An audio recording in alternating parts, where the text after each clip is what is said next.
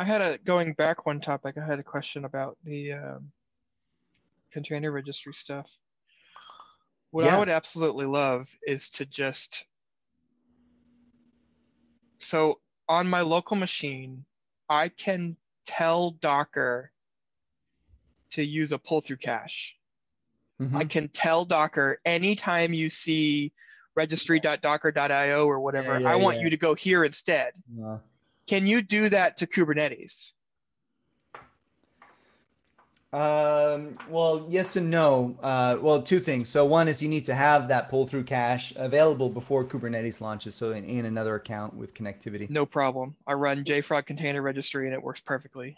Cool. Yeah. No. So I, what I was gonna say is like I what I thought you were gonna say is I was hoping Amazon was just gonna come out with a pull through cache registry, uh, and uh, that would have been pretty sweet. But that's not the Well, the problem is all the Helm charts and stuff still say Docker, you know, Docker Hub.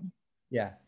So And so I yeah. want Kubernetes to just, anytime it sees Docker Hub, it just makes that substitution and points at my pull through cache instead. So two things. I mean, if you're still using the actual Docker daemon uh, with uh, Kubernetes, you can uh, modify the the arguments passed to the Docker daemon uh, at start. Uh, the other idea is one of those mutating admission controllers, which would Mm. automatically look at the images um, of your pods, rewrite them in such a way that whatever pull through cache you have would know how to fetch Right. the origin of those. But I, yeah, it would take some further expl- exploration. Any other ideas? Could you use operators in that?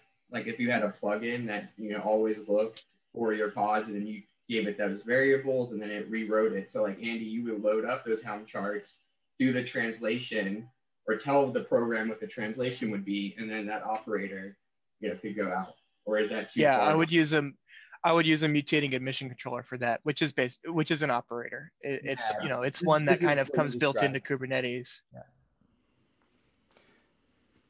Um, and you're you're totally right, Eric. Uh, that's the perfect answer. I just hadn't thought about it. A mutating admission control. I like that better than messing with Docker config on the node level Yeah. Um, because I can use. This could be a great excuse to mess around with OPA. it- yeah, exactly. And then, and then you can have a policy that you don't allow from uh, any other place than your pull through cache. So I'll share that link as well. Ah, and Jim says you can always hijack the DNS. Uh, so yeah, and become your own CA uh, for Docker.com.